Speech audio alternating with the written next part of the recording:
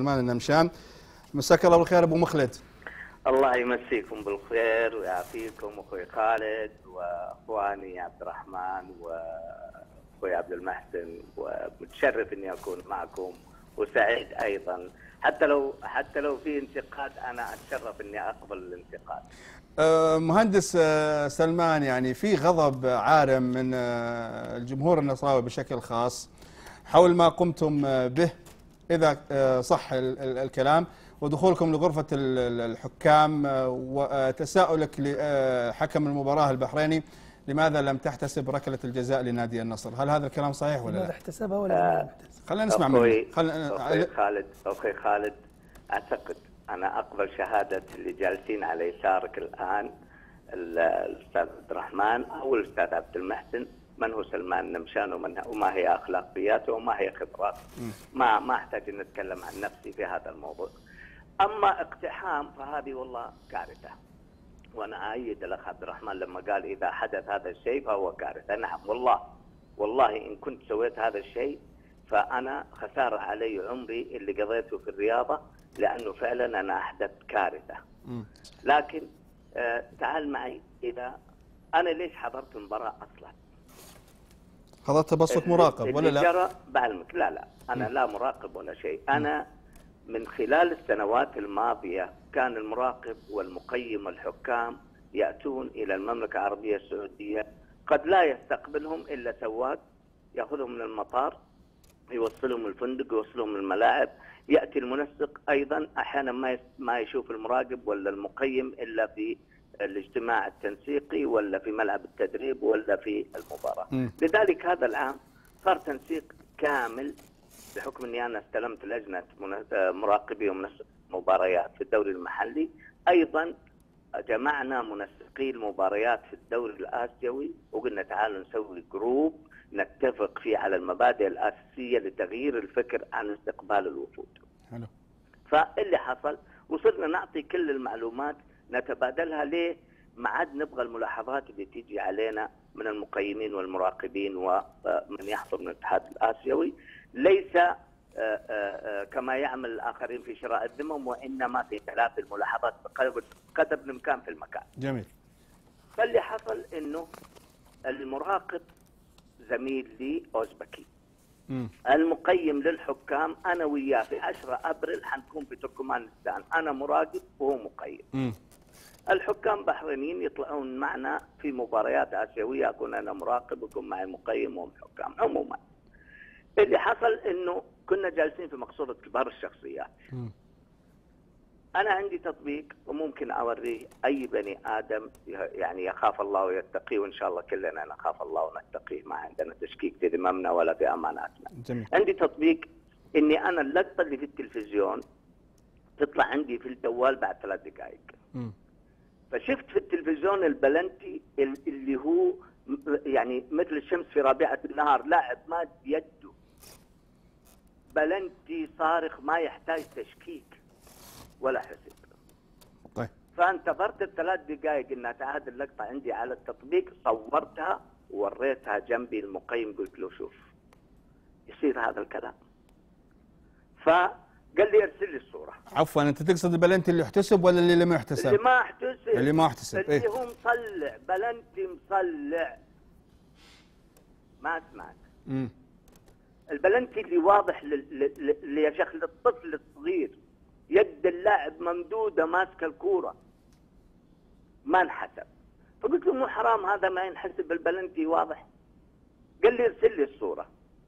فما عنده في الجوال انترنت لأنه آه، جواله عراقي. شبكت من نتي أنا من جهازي على جهازه وارسلت له الصورة. حصل انه يبغى لقطات الصورة من من من كاميرات مختلفة.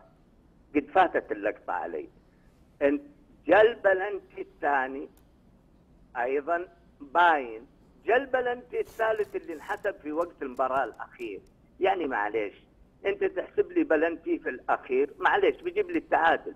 لو انك حاسب لي البلنتيين اللي قبل كان يمكن أفوز بنتيجة إيجابية كنصر.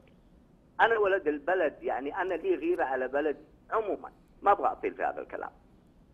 يشهد الله سبحانه وتعالى وسأقابل كل من تحدث عن سلمان النمشان. زين يوم القيامة لشيء واحد إنه هو ظلمني في شيء قعدت مشي الجمهور من الملعب ومشيوا الموظفين ما بقي إلا موظفين مقصورة كبار الشخصيات وأنا قاعد مقابل التلفزيون وتلفوني في ايدي على أساسها بشوف متى تعاد اللقطة يصير أصور اللقطات كلها عشان بناء على طلب المقيم أعطيه اياه. طيب أبو مخلد بس آه، دقيقة واحدة دقيقة واحدة سم جاء لقاء الكابتن حسين عبد الغني مم. وبعده جاء لقاء اللاعب ال- ال- الأخويا زين. بعده جاء للقطات اللي فيها نوع من التساؤلات. فرحت انها جات قمت أصور طيب. انتهت. انتهت. رحت لغرفة الحكام دقيت الباب جيت للمقيم. قلت له ممكن تعطيني جوالك؟ لأنك طلبت مني الصور أعطني جوالك. أعطاني جواله. نقلت الصور اللي عندي على جواله بعد ما شبكته معي على النت. زين. وقلت له مو حرام هذا الكلام. جاء الحكم وقف جنبي. قال لي والله ما انتبهت لها. كذا بصريح العبارة والله ما انتبهت لها.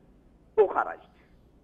طيب. زين. لا رحت جبت معلش ماشي في تكملة لأنه جزء من متطلبات الاتحاد لأني أنا العربي. ودي ودي وديني أوضح الصورة بشكل كامل. بس ثانية واحدة. في سم. ال- ال- اللي حصل إنه بناء على متطلبات الاتحاد الآسيوي لازم يسلم ال DVD حق المباراة اللي هو من الناقل الرسمي.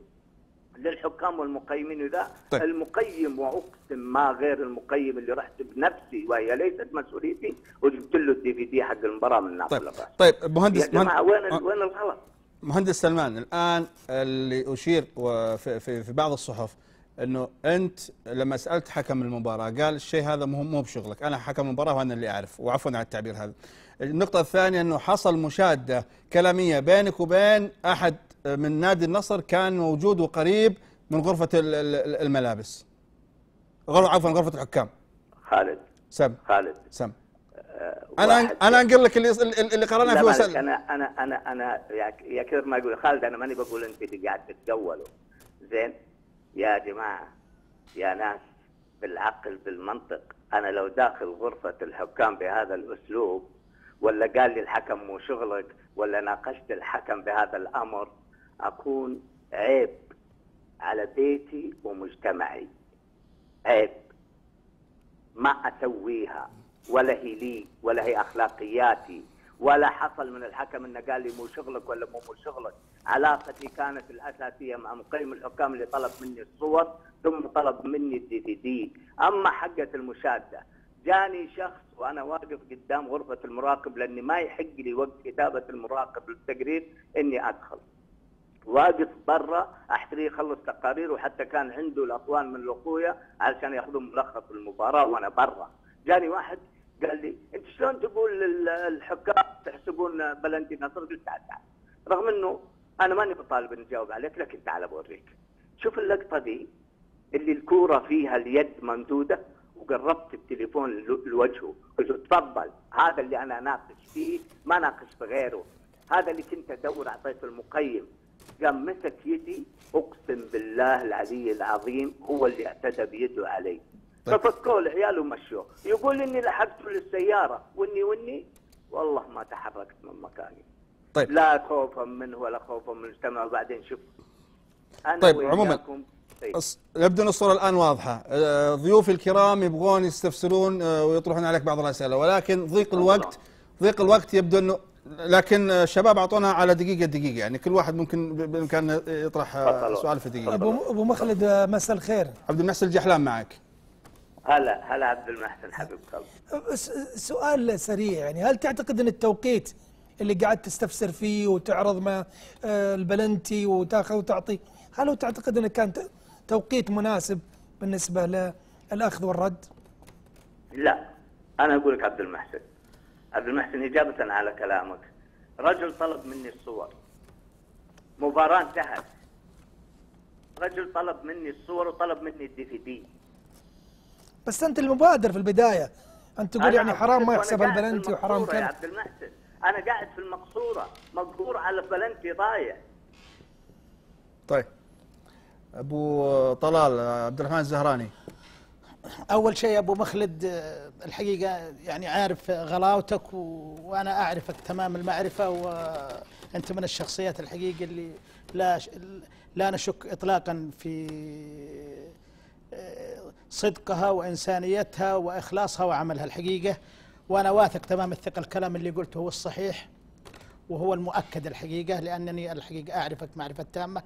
ولكن ما اتمناه الحقيقة أن وسطنا يعود إلى براءة المقاصد ويعود إلى إلى إنسانية المنافسات الحقيقة، الحقيقة الآن يا أبو مخلد إحنا في في جحيم منافسات لدرجة ان إن الكثير الآن بدأ الحقيقة يبتعد عن الرياضة وكرة القدم الحقيقة لأنه طيب. الآن أصبحت النوايا أصبحت النوايا من أسهل الأمور الآن الموجودة أن الحكم بالنوايا هو من آه، ذهب بنا إلى خارج محيط الملعب وأتمنى إن شاء الله ال- يعني أنا فعلا قلت كارثة لأني أعرف إن طيب. سلمان النمشان لا يمكن تحدث منه طيب. فأنت من ال- الرموز الحقيقة اللي نعتز فيها ولك تاريخك الحقيقة و جميل. ويكفي استاد الملك فهد.